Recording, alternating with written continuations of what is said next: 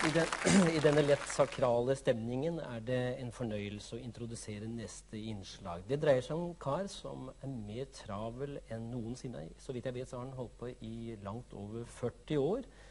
Han farter nå som uh, en slags gjenfødt uh, som ren showman på um, messer og basarer. Og på platebarometeret ligger han jevnlig høyt oppe.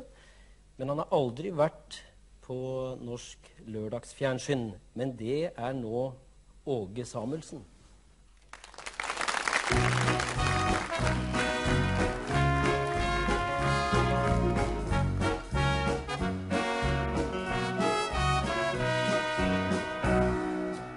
Hør, min venn som lever, frykt som år for år, kjemper her og striver under trellekår slutt med sukk og klager. Han har satt deg fri. Gled alle dager vil din frelser gi. Slipp deg løs i ånden, pris din store Gud. Grip den store hånden, Jesus strekker ut.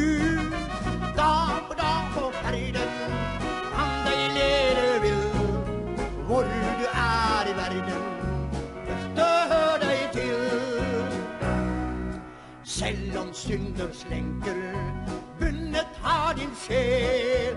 Jesus frihet skjenker, alle ting gjør vi. Nåde over nåde, Byrden åpen er.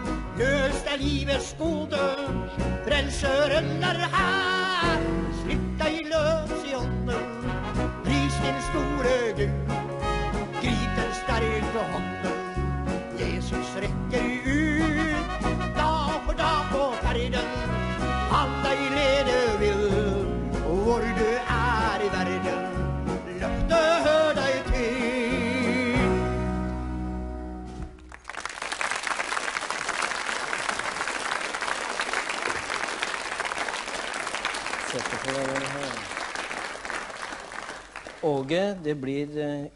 ingen uh, kollekt på deg i kveld, men du skal få et Jeg skal nok redde allikevel. likevel. Ja, du skal få et glass saft, ja.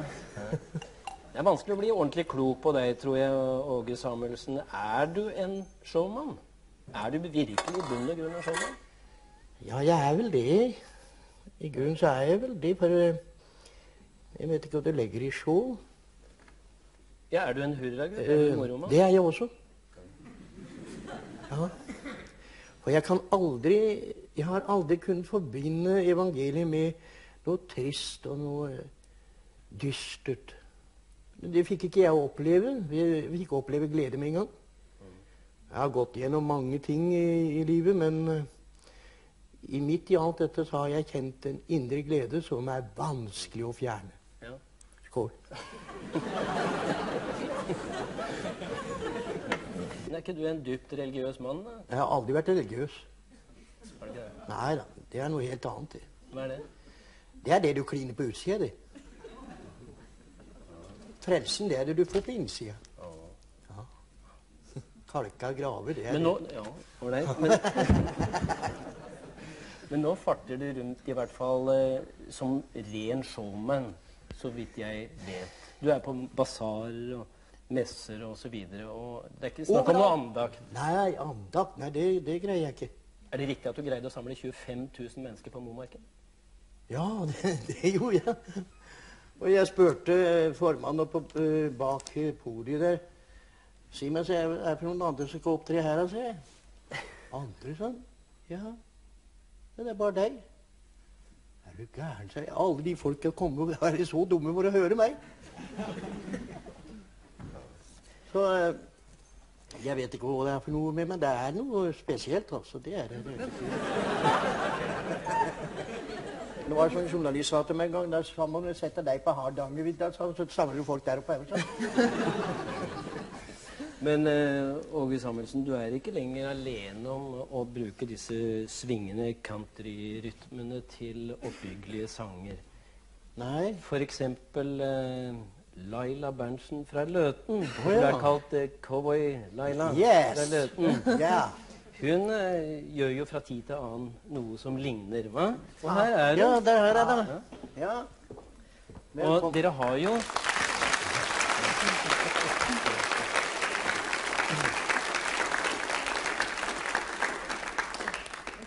Og dere har jo, eh, når vi skal være ærlige, og det skal vi jo, ikke minst i dette selskapet ja. Dere har jo møtt hverandre fra tid til annen Ja. ute på jobber. Ja. Og, eh, men dere har aldri sunget sammen. Nei. Men Laila, hvorfor er det egentlig du blir kalt for Cowboy-Laila? Hva kommer det av? Jeg mener det Ja, jeg tror folk misforstår litt. De tror kanskje jeg synger countrysanger for at jeg blir kalt Cowboy-Laila, men eh, det er da jeg kom tilbake fra Amerika. Ja. Jeg bodde der i seks år.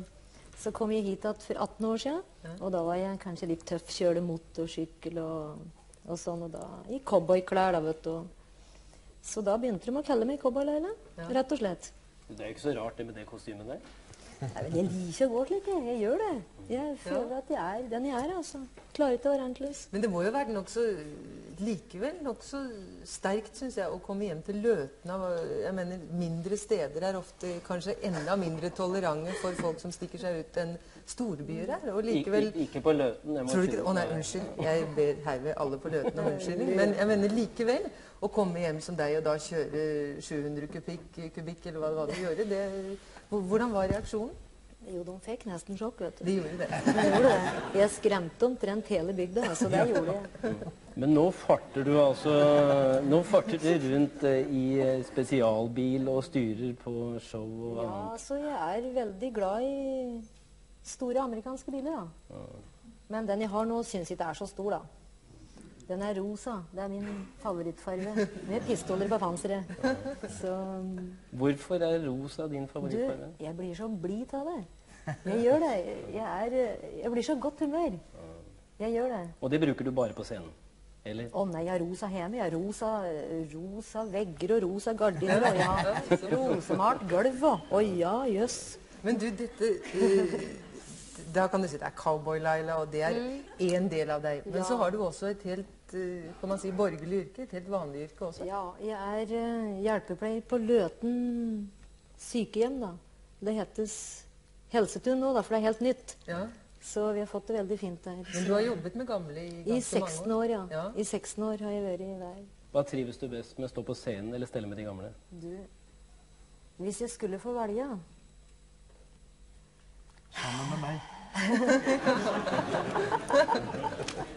Ja, noen måtte jo være med selv.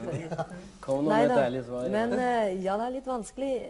Jeg er veldig glad i de gamle. Altså, de er Det gir meg veldig mye å få lov å, å stelle de gamle. Men du skriver låter selv. Ja. Og det syns jeg er ganske Jeg er interessant, for det, for det er det veldig få jenter som gjør. Det er egentlig, man tenker etter, så er det veldig få jenter, uansett hvilken stilart, som skriver tekster eller komponerer låter. Det gjør du. Altså, jeg er som en Åge, da. Vi er i grunnen litt like, Jan Åge. Ja. Det er derfor vi liksom kommer så godt overens. Ja. Han kan heller ikke noter, og det gjør ikke jeg. Jeg tenker ut låtene om natta, at det kommer over meg. Ja. Og da, da, da skriver jeg tekst og melodi samtidig som jeg sitter og mimrer inni meg. Jeg kan jo ikke drive og skrike høyt, vet du. Nei. Jeg må jo liksom tenke melodien inni meg. Ja, men som sagt innledningsvis så, så har dere jo aldri sunget noe sammen, selv om dere altså møtt hverandre på jobber rundt omkring. Eh, nå har vi jo tenkt å eksperimentere litt da, ikke sant? Og, og at dere nå prøver å gjøre en jobb sammen på vårt podium, som er deres nå. Vær så Og da har jeg skrevet Ja, takk. Ja, og det er da en uh, låt, tekst og melodi som er spesialskrevet for anledningen her av Laila. Og Åge, som den sporty mann han er, han hopper inn her på kort varsel og skal være med å trå til.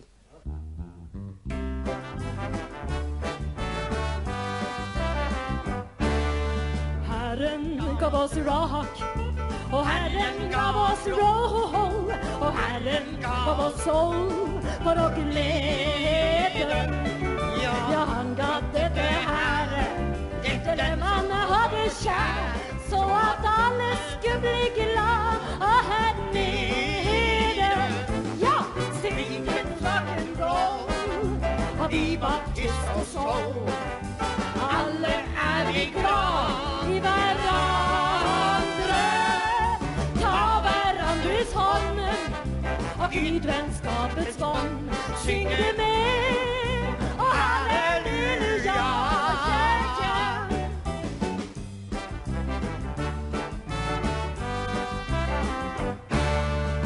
sangen gjør oss glad.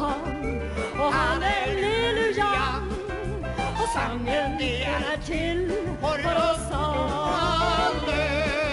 Hvis alle sluttet pre, ja da skal du se. Dette her vil bli et bedre sted. Ja, syng din rock'n'roll av bebop, twist og soul.